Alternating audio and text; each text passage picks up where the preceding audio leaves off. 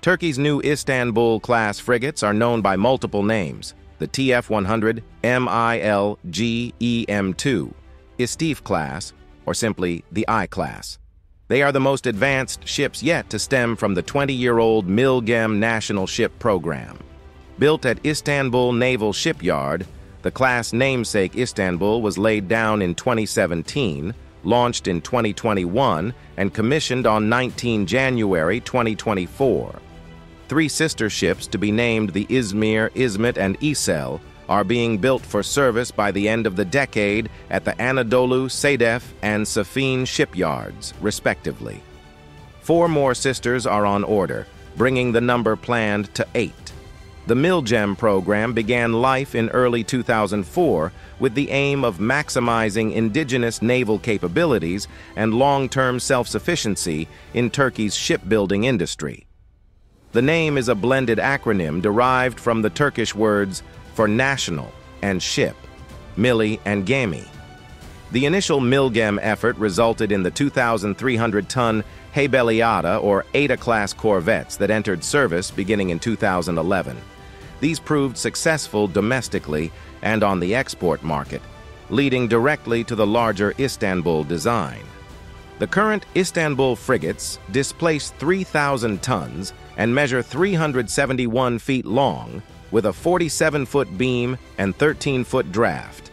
The ships carry a crew of 123 and were designed from the outset as multi-purpose warships optimized for anti-surface, anti-air, and anti-submarine operations. To enhance stealth, their radar cross-sections have been minimized, along with acoustic, infrared, and magnetic signatures. The ships and their systems had a 75% indigenous production target that was surpassed with the very first frigate, which is said to be 80% domestic. Armament consists of 16 canister-launched Atmaca anti-ship missiles, which have a range of more than 120 nautical miles and are carried amidships in a 4x4 configuration. A MIDLAS vertical launch system, VLS, is fitted forward of the bridge and consists of 16 cells, housing Hisar surface-to-air missiles with a range of around 15 nautical miles.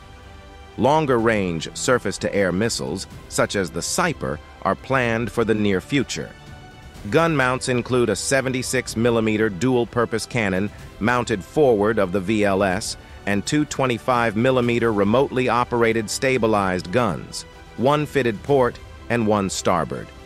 A single aft-facing 35mm Gökdeniz close-in weapon system is carried atop the helicopter hangar. Two rigid-hull inflatable boats are carried for a variety of missions.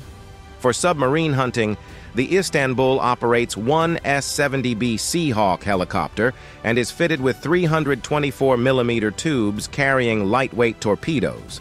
Ship sensors include a Turkish hull-mounted sonar suite, a domestically produced active electronically scanned array surveillance radar, and a low probability of intercept navigation radar.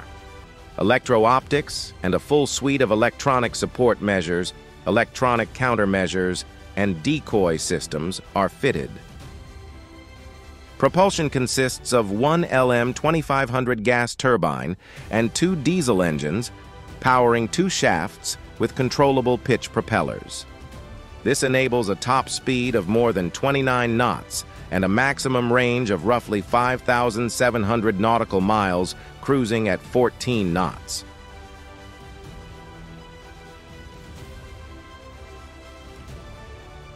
If you enjoy this video, please consider subscribing or becoming a Naval Institute member by visiting usni.org/join.